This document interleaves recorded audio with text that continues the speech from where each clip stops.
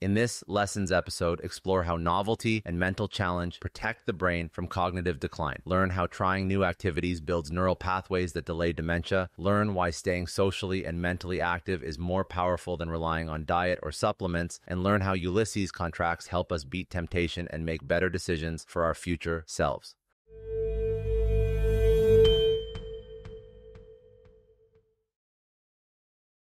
One more, one more thought and question on memory and sort of brain health and brain optimization. Uh, I've I've spoken to uh, Steven Kotler, who does a lot of work on flow state, and he's written a lot, uh, several books. I don't know how many. And he was speaking about uh, activities that ward off Alzheimer's and dementia. And I don't know about the science behind it. He's he has a lot of conviction that certain kinds of activities um, can ward off Alzheimer's, dementia. Uh, is there anything that is studied or proven to ward off Alzheimer's, dementia if that's something that's in your family? He was mentioning, if I remember correctly, he mentioned that tennis was one of the most beneficial activities because it's cognitive and physical at the same time, which apparently is something that is not prevalent in, in many other sports. Um, I don't know where, uh, I think he's done research on this, but regardless, in your studies, uh, have you found anything like that to be the case where any sort of activity prevents cognitive decline? Maybe any foods, any anything at all, really? I'll tell you the whole the whole thing comes down to challenging your brain uh, with with novelty. So the key is, um, and and and you can fit anything you want in here, including tennis. But the key is, if you are an expert tennis player, then playing tennis in your 60s or something is not going to benefit you. The thing that'll benefit you is to not play tennis, but to start something else that you've never done before, that you're terrible at, that you need to learn how to do.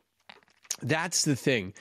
And this is true across whatever it is, whether it's, uh, I don't know, people always ask me about Sudoku or um, you know, sailing or whatever the thing is, it's got to be something that's challenging. What you always want to do, but especially if your brain is getting closer to cognitive impairment, is put yourself between the levels of frustrating but achievable. So you're taking on a new task. Let's say you've never done Sudoku before, then that's cool. You start Sudoku, you don't know what you're doing, you're putting a lot of effort into it. The point is what that's doing in the brain is building new roadways. You're you're making new things happening with your synapses that you haven't done before. As soon as you get good at Sudoku, then you have to drop that and pick up something else, like tennis, like whatever the new thing is that you haven't done. But the key is the challenge. And that's where you always want to be. And weirdly, that's actually our best thing that we know about for, you know, uh, for dementia. Um, is is challenging the brain. Obviously, there's lots of pharmaceutical work going on and other things like that. As far as foods go, I, don't think there's anything uh, that's particularly convincing about that. Um, if one ha- already has a balanced diet, I don't think there's some magical new food uh, that one can do there. But the key is to constantly build new roadways and bridges in the brain. There was a study that's been going on for, I think, like 30 years now called the Religious Orders Study. And this is on nuns who live in convents um, in the Chicago area um, who all agreed that they would donate their brains upon their death. And so over the years, different nuns have, have passed away and donated their brains, and the brains have been autopsied. And the, the stunning result from the study is that a number of these nuns actually had Alzheimer's disease. Their brains were ravaged.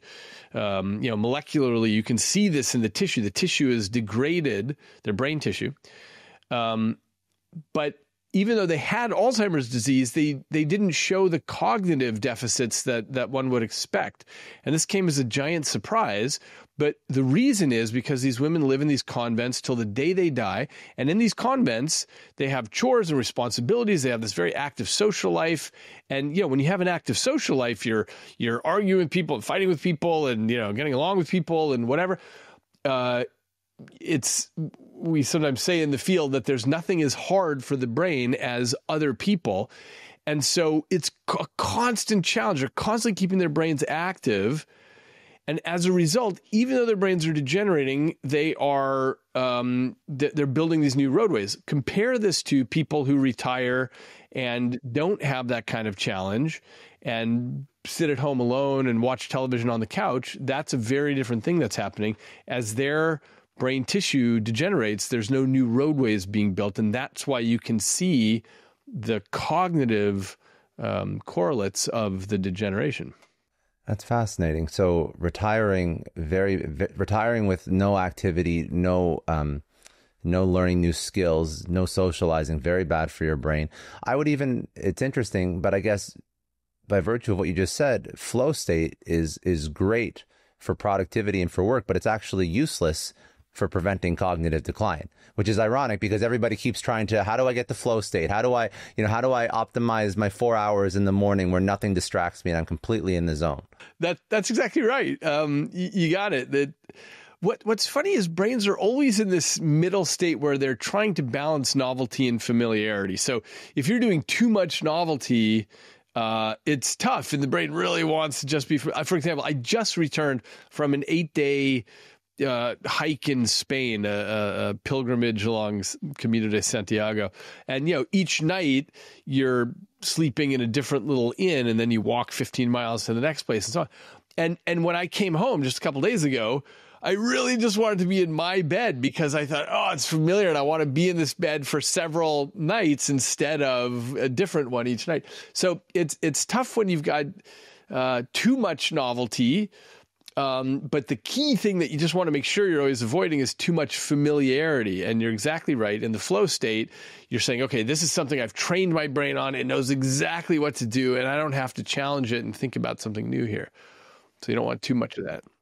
What would you say that are some some common habits that are really damaging to either our brain's health or just brain's potential? Yeah, I mean, so many things that uh, that we all do um, obviously, you know, diet is one, unless people think about it. What's cool, what, what I think is neat is that just over the course of my lifetime so far, I, I, I feel like I've seen a real change in the way that society thinks about diet now.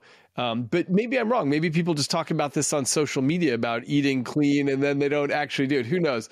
But um, I think some people try, but maybe probably that's true too. to be honest, you know what I find interesting? I, I see these uh, these weightlifting videos on on YouTube, and I, I watch these things and I try to implement some new techniques and whatever. These things all have you know, millions or tens of millions of views. And I think that's awesome that so many people are watching this thing about like, you know, the five best, you know, back exercises or five best bicep exercises. I think, hey, that's so great that so many people are watching this. But what I don't know is how that translates. In other words, do people, are there millions of people watching it and not doing it? I'm not, I'm not certain. Anyway, um, as far as things uh, that we do, obviously, it, it feels to me anyway that there's been a lot more emphasis about sleep, and this is massively important. One thing that I feel like I've seen a change on as well is alcohol consumption, which is related to the sleep issue. Um, it's become more socially cool to not drink alcohol, which is a great idea, right? Because alcohol, among other things, disrupts your sleep. Um, and so, at least in the circles that we spin in, uh, a lot of people are not drinking in a way that, let's say, our parents' generation, everybody drank. So I think that's a that's a really cool hack that's been happening socially. Um, you know, and obviously, uh, one generation ago, everyone would smoke cigarettes, and there were these ads. You know, nine out of ten physicians recommend Camel brand of cigarettes or something. Uh, it's crazy to look back at those sorts of ads. But a- anyway, so there are all sorts of bad habits that people are are working on. Uh, to my mind, one of the main interesting challenges in life is that we all have temptations that we, in our long term thinking self, would rather not give into whether that's drugs or alcohol, or some people have gambling, or some people have sex addictions, or whatever the issue is that people have. When they're when they're really in a moment of sober thinking about who do I want to be in the world, they're they're on a hike. They think, okay, I, I don't want to do that anymore the question is how do you get yourself to actually not do it? Because we are very different people at different times. And when you're faced with the temptation you're probably going to do it. And so my uh, one of my deep interests and this is actually my my next book um, is on something called the Ulysses contract, which is how we make deals with ourselves through time. Um, the uh, listeners may remember the story of Odysseus, also known as Ulysses, who is coming home from the Trojan War and realized he was going to pass the island of the Sirens and and he really wanted to hear their songs but of course he knew that like any mortal man their their song would seduce the the whole ship to to come crash into the rocks and everyone would drown. So what he did is he filled his sailor his uh, you know sailors ears with beeswax and he had them lash him to the mast so that he could hear the siren song but he couldn't do anything about it because he instructed them I want you to go straight and just ignore me if I'm screaming and yelling. The point is the the Ulysses of sound mind, who was you know tens of miles from the island, knew that the future Ulysses, who who would be right next to the island, would behave badly. What he was doing is making sure that when faced with temptation, the future Ulysses wouldn't uh, wouldn't behave badly. So. Um, what I find very interesting is how we can make Ulysses contracts in our own lives to make sure that, you know, for example, we show up at the gym. One way to do that is to tell your friend you'll you'll meet him there at you know 9 a.m. And if you tell your friend you'll meet him there, then you wake up, you maybe feel a little lazy, you feel like skipping, you think, well, I can't because he's going to be there. So then you show up. So that's a very simple way of making Ulysses contract for people who are trying to you know, battle drug or alcohol addictions. There are all these things you can do, like make sure you never carry more than $20 in your pocket. Because if somebody offers you drugs on the street, you'll say, oh, shoot, I don't have the money. Or for an alcoholic, the important thing is to clear all the alcohol out of the house. Because even if you think, okay, look, I've, I know what to do, I'm not going to drink this thing. If it's there, you'll drink it at some point. So um, there are all kinds of things if we think about ourselves as creatures through time who are not the same person at all moments, I think this is a very powerful hack to to help our future behavior. Thanks for tuning in. If you found this valuable, don't forget to hit that subscribe button so you never miss an episode. And if you want to dive deeper into this conversation, check out the links in the description to watch the full episode. See you in the next one.